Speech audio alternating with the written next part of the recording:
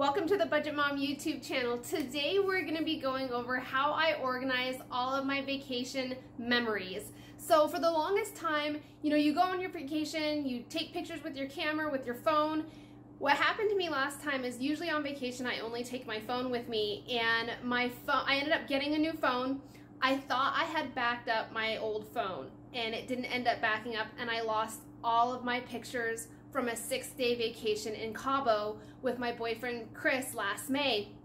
It was actually kind of devastating. I was able to keep some of the photos from the trip when we did some of the adventures over there. However, all the videos, all the photos on my phone were lost forever. So there are a couple different things that I do to make sure that all of my vacation memories for each vacation are put together in one unit. So that includes, so one of the things that I like to do on vacation is I like to go to those penny machines where you can crank it and it smashes the penny.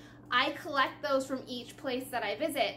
There's a lot of other things though that I like to keep with my vacation memories. It's my vacation budget.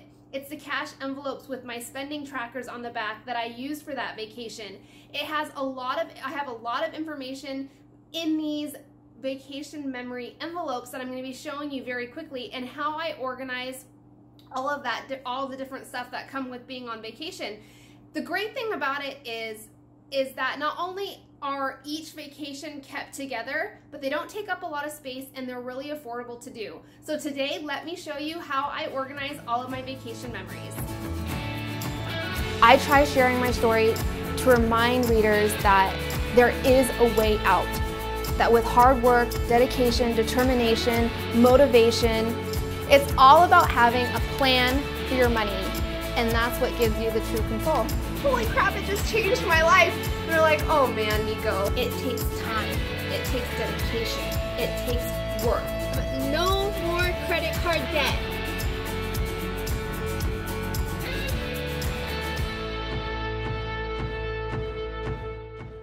So this is how I currently organize all of my different vacation memories. I like to keep them in these plastic clear envelopes that look like this. Now all the different accessories and things that I am talking about in today's video, I'll put a link in the description of this video for all this type of stuff, but they're essentially just these plastic envelopes that are, yeah, plastic envelopes that have these plastic little snaps. It's great because they don't tear if you spill something on them, they're not gonna um, affect anything on the inside and they don't wrinkle. And this is how I store everything.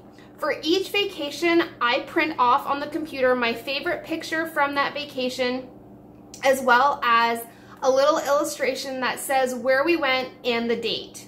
So this makes it really great if you're quickly searching for a specific vacation. Maybe you wanna show a friend or a family member the photos or the different um, mementos that you got on the on the vacation, then you can very quickly see on the front cover of the envelope. Inside each vacation, I like to keep a couple of different things.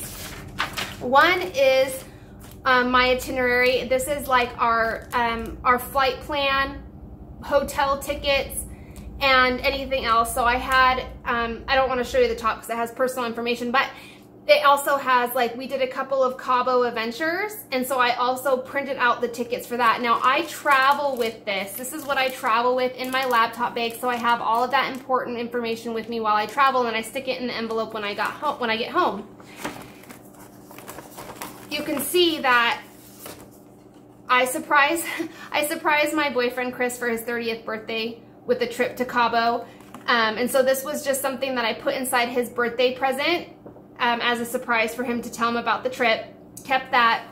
This was the trip that I lost all the videos and photos on my phone. Luckily, though we did some different adventures, like one of the ones you saw here, we went and swam with the dolphins. That was in May of 2018 they gave us photos in these little flash drives and these little plastic holders. And I thought, oh my gosh, that is so great because then you're not worrying about losing the photos or videos on your phone, especially um, I'll tell you in a minute why it really helps because what I found was it took up a lot of space on my phone while I was traveling. All the, the lengthy videos and the photos. I like to take a lot of photos and videos while I'm on vacation. And so that's what I have in that one. Let me show you very quickly my New York City trip because that has a lot more stuff in it and how I organize it. So I like to, even, doesn't matter how big or small the trip is, I do this for all vacations, all trips, because like this was a four day trip we did over to um, a Mariners game. It was me and my boyfriend's very first time seeing a Mariners game for both of us. So it has all the different things. Like I kept our, our little bus passes as well as you'll see here's, I mean, our itinerary, our game tickets from our, the email that they sent me. It also has on this one, the cash envelopes that I use for this vacation. And I believe if I go like this, there's my, there's my, my flattened penny from that trip as well. For my New York City trip that I just got back, spending seven days in New York, here is how I have everything organized. The same thing, I have my favorite photo. I took my mom on this trip, but here is another great thing that I keep inside all of my envelopes my vacation budget and spending. This is really important. So when I get home, the first thing I do is I go over my spending on my vacation. Now, I do track my spending while I'm there, and I do that using cash envelopes that look like this. So I have as I'm spending cash on my vacation, I track all of my spending so I know at any point in time how much money I have left to spend on that category for that trip. I keep these inside my envelopes as well, but when I get home, I do a more detailed breakdown of my spending costs on something. It could just be a piece of paper from a notebook, but mine looks like this for this trip. This is really handy to have because let's say for instance in the future you go like I go back to New York it's a great estimate to base your new budget on. You could go back and say, okay, well, how much did I spend in taxi costs? How much did I spend on food costs? Did I overspend? Did I underspend? It's a great way to start making those estimates for your new budget if you're traveling back to the same place. Here is, like I said, what I travel with um, in my laptop bag. So it's just my vacation budget. This one I actually have my vacation packing list um, as well as the itinerary and then um, as well as our city pass information. So that is in the envelope as well. Uh, pictures from the trip. These ones I didn't get digital copies, so I do only have the hard copies, but they're inside my envelope, nice and protected. I like to keep everything from my trip. So we went and saw Pretty Woman and here's the little brochure that they give you when you get to the theater. Inside, actually, I believe, yeah, is my ticket to the brought to the show.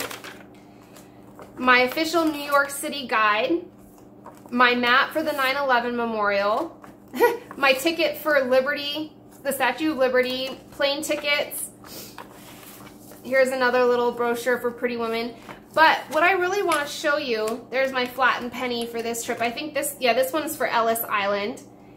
But what I really wanted to show you is how I am organizing my photos and videos. So inside each of these envelopes, you're going to see these little clear flash envelope, uh, little envelopes on the inside. They look like this. You can buy these in bulks, I think in packs of six, but they're self-adhesive little flash drive envelopes. I just stick them to the inside of the envelope. That way you're not searching inside the envelope for all the for your um, little flash drives. The flash drives I also buy in bulk from Amazon and they look like this. Now these are the ones that I'm, I still have not used. They're for future vacations or trips for photos for those, but you can buy them in bulk. They're pretty affordable. And this is what I store my videos. Now I took a ton of video on my New York trip, which is why I used to. I rarely ever used to, but they're stuck on there. And the moment I get home, I transfer the videos and photos from my vacation onto these flash drives. It frees up space on your phone, as well as now you have everything in one place for your videos and photos for that specific vacation. So that's what I have inside my New York City vacation envelope you can actually fit quite a bit inside these clear envelopes. So let me show you very quickly how I make these illustrations in a free program called Canva. This is a free program that I like to use for a lot of my home projects. It's canva.com. And this is how I create my favorite photo with the illustration for my vacations on my envelopes. What I do is once you go to canva.com, you just create an account using an email address and you set up a password.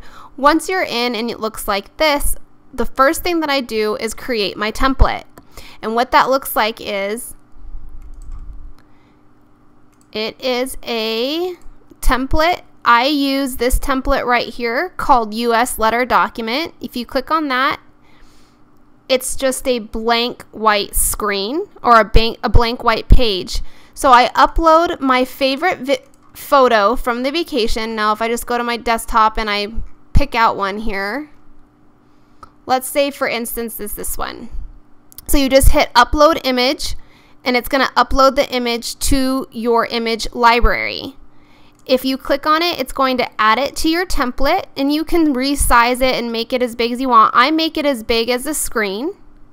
So let's say, for instance, I wanted to use this photo for my New York City vacation. It is now covering the whole page of my template. I then go over to the left hand side and these are all the different things that you can do with this template. If you click on elements, there's a whole bunch of different things that you can add. You can add charts, you can add shapes. I use the shapes function to add the illustration to my photo.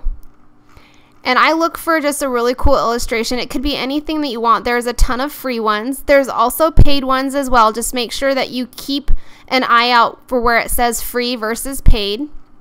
So maybe for this one, I want to use this circle right here. So if you click on it, it's going to add it to your template. Using the arrows, you can resize it. And maybe I want this one up in the left-hand corner. Once you, if you have the shape clicked on like this and it's selected like this, you can come up here and change the color of the shapes. So right now this is set to gray and white. Maybe I would like to do a blue and a light blue. You can make it whatever colors or however big that you want. Now, I want to add text to this because I want it to say where I went and the date. If you come back over here to your tools, there's an area called text. If you click on that, I always, I like to do add a heading. So I add a heading. It just makes the text a little bit larger. This is where you can type in where you went. So we put New York here. Now maybe for instance you don't want this black. Maybe you want this white. If you go up here to all the colors with the letter A, you can change the color of your text.